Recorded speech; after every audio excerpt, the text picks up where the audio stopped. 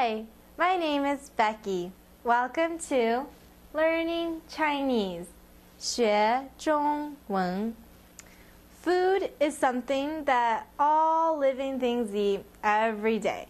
And there are many, many varieties, but we're going to cover a few of the bigger general ones that we go through every day. So, meat. Unless you're a vegetarian, most people like to have this at least once a day. In Chinese, it's 肉. Meat is 肉.日 o 肉 for meats. And then vegetables are 蔬菜. No matter how much you don't like to eat them as a kid, your parents always make you eat your veggies. So, 蔬菜 for vegetables. 食物蔬吃爱菜蔬菜 for vegetables. And fruits. Some people have a different, can't figure out what's a fruit and what's a vegetable. But anyhow, in Chinese, you say 水果。水果是为水果果。And 水 is water, which kind of makes sense since when you think of all the fruits that you can possibly eat, most of them are pretty juicy and pretty full of nectar or the juice that they're made of. 水果 for fruit. And rice. For Chinese people, most times this is uh, what we have every meal. The dishes, like the vegetables and the meat, may change, but this is our daily grain. We eat it with every single meal.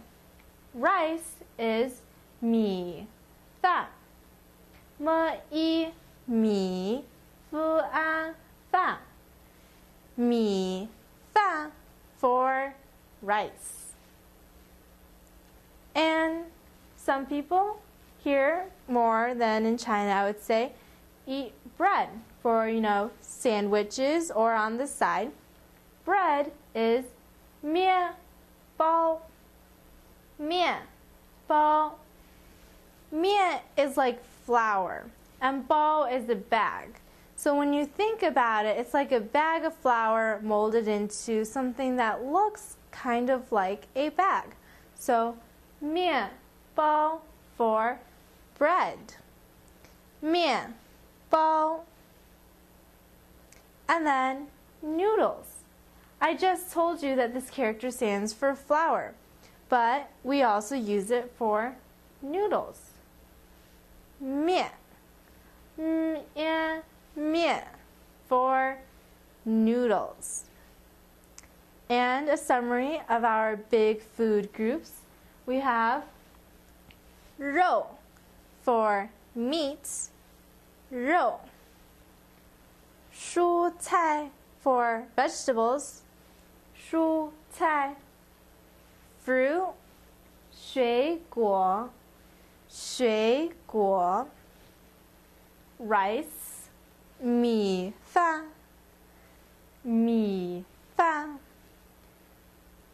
bread, 面包, mian bao and noodles.